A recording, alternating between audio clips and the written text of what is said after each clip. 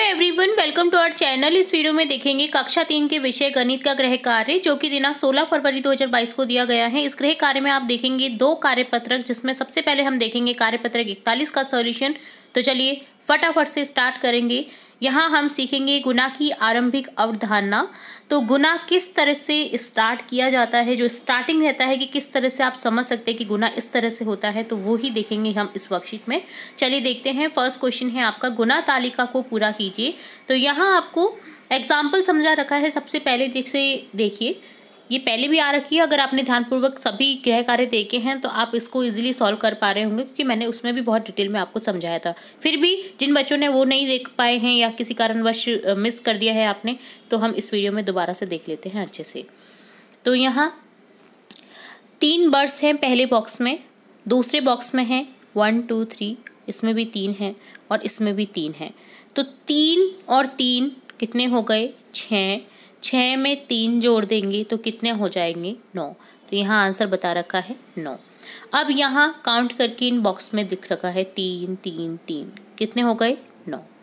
अब तीन को, तीन तीन तीन कितनी बार है? तीन बार है। अगर हम इसे ऐसे ऐड नहीं करना चाहते या हम शॉर्ट ट्रिक इसे अपनाना चाहते हैं कि फटाफट से हम सॉल्व कर दे, जोड़ना नहीं पड़े हमें तो क्या करेंगे?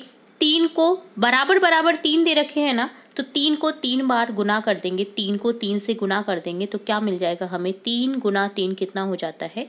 नौ। ये है हमारी गुना की अवधारणा। जो संख्या रिपीट होती है, उसका उस संख्या से गुना कर दिया जाता है तो हमें जो ऐड करने पे मिल रहा है, वही सेम आंसर आपको गुना करने पर भी मिलेगा।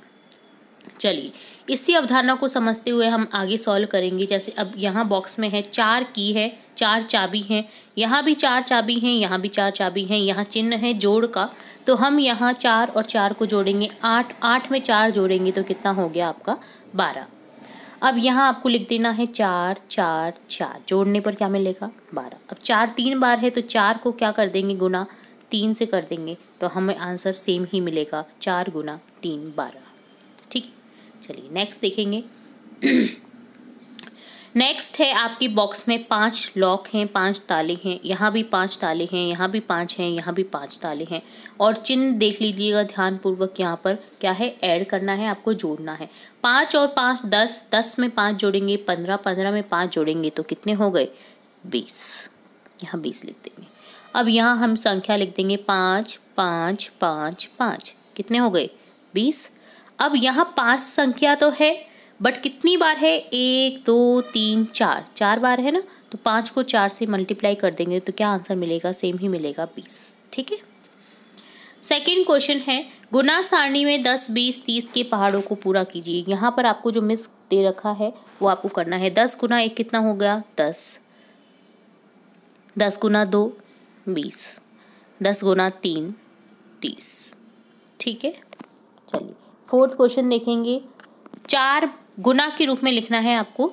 चार जैसे एग्ज़ाम्पल समझते हैं, चार बार पाँच तो चार बार पाँच लिख दिया, चार गुना पाँच। ठीक है, पाँच कितनी बार है, चार गुना, चार बार है। अब तीन बार सात है तो सात को तीन बार लिख दिया, अब तीन गुना सात। कितने हो गए? इक्कीस। ठीक है, आंसर आपको लिखना नहीं है, गुना में ही लिखना है। पाँच बार तीन है तो तीन प्लस तीन प्लस तीन प्लस तीन प्लस तीन, कितनी हो गई? पाँच गुना तीन, पंद्रह। सात बार दो है तो दो को सात बार लिख देना है आपको। दो प्लस दो प्लस दो प्लस दो प्लस दो प्लस दो। और गुना कर देना है सात गुना दो। ठीक है? ये आपको उधर सामने ही लिखना है। मैं जगह नहीं है तो यहाँ पर बता रही हूँ। दो बार नौ लिखने हैं। नौ प्लस नौ। अब दो गुना नौ कर दीजिए तो वो ही आंसर मिलेगा जो आप ऐड कर रहे हैं, ठीक है? तो इस तरह से ये कंप्लीट होती है वर्कशीट अब देखेंगे कार्यपत्रक बयालीस का सॉल्यूशन जिसमें आपको गुना की आरंभिक अवधारणा को समझते हुए ही सॉल्व करना है। पत्तियों में लिखी संख्या को जोड़कर बीच में लिखिए और रंग भरिए। आपको क्या करना है? एग्ज़ाम्पल समझते हैं कि यहाँ देखिए बॉक्स में बीच में दे रखा है छत्तीस। अब छः कितनी बार है यहाँ? एक, दो, तीन, चार, पाँच छः छः गुना छः कितना होता है? छत्तीस तो यहाँ आंसर बता रखा है। इसी तरह से नेक्स्ट करेंगे। नौ है, एक, दो, तीन, चार। नौ चार बार है, नौ को चार बार मल्टीप्लाई कर देंगे। चार नम कितने होते हैं? छत्तीस। बारह है, एक, दो, तीन। तो बारह को तीन से मल्टीप्लाई करने पर क्या मिलेगा? बारह, दूनी चौबीस, बारह, तिया छत्तीस। सेम मिल रहा है। ठीक है, आंसर? जोड़ेंगे तो भी हमें वही सेम मिलेगा, ठीक है? नौ प्लस नौ, अठारह अठारह प्लस नौ, ठीक है?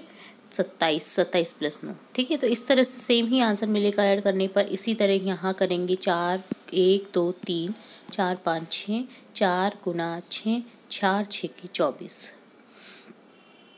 छः चार बार है, छः गुना चार चार, छः की चौबीस।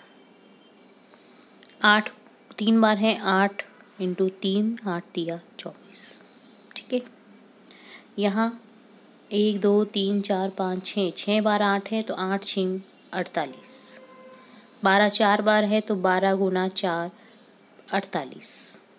सोलह तीन बार है तो सोलह गुना तीन कितना हो गया? अड़तालीस।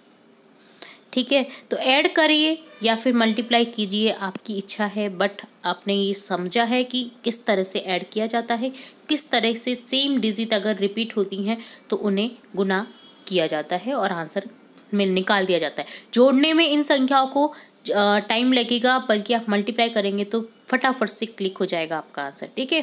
तो इस तरह से कंप्लीट होता है आपका आज का गृह कार्य, बहुत इंपॉर्टेंट गृह कार्य था सभी के लिए। तो इसी तरह हम आपकी कक्षा से रिलेट और भी इंपॉर्टेंट वीडियोज़ देखते रहेंगे। तो जुड़े रहिए हमारे चैनल के साथ वीडियो को पूरा देखने के लिए। धन्यवाद।